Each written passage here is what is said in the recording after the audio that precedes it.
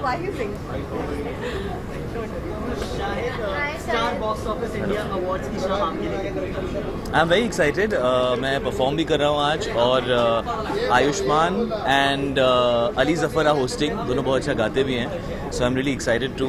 see them host there some fantastic performances Salman भाई is performing and Shraddha is performing Alia is performing I think Priyanka is performing Parineeti is performing is are everybody somebody okay so I think that's everybody and so very happy to be है बहुत खुशी है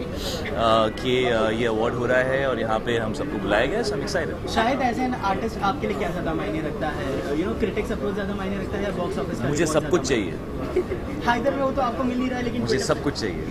Gradually, but Haider की जो collection है वो बढ़ती जा रही है और ऑडियंस भी उसे पसंद करें क्या कहना चाहेंगे जी आई एम वेरी हैप्पी मैंने हैदर रिलीज़ होने से पहले भी ये कहा था कि ये मेरे लिए बहुत स्पेशल फ़िल्म है और इसमें जो, जिस वजह से हैदर की गई थी वो एक्चुअली फ़िल्म ख़त्म होने के साथ ही अचीव हो गया था बिकॉज़ ऐसी फ़िल्म करना, ऐसा रोल करने का मौका मिलना, विशाल सर के साथ काम करना टबू मैम इरफान सर के के सर के साथ काम करना और एक ऐसे तरह की फ़िल्म करने की कोशिश करना करना जिसमें एज एन एक्टर आपको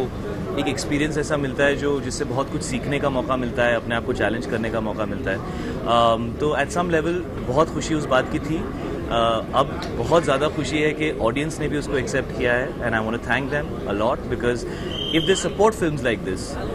it gives us more strength to do more work like this because मैं जानता हूँ कि ये कन्वेंशनल फ़िल्में नहीं हैं और uh, इस तरह की फ़िल्मों को अक्सर लोग बहुत स्केप्टिकल uh, नज़रों से देखते हैं कि यार ये अप्रिसिएशन तो मिल जाएगा बट ऑडियंस पसंद करेगी या नहीं। I have never in eleven years of work receive this kind of appreciation from the audience जो हैदर के लिए मुझे uh, लोगों का प्यार मिला है and and so I am very very very very happy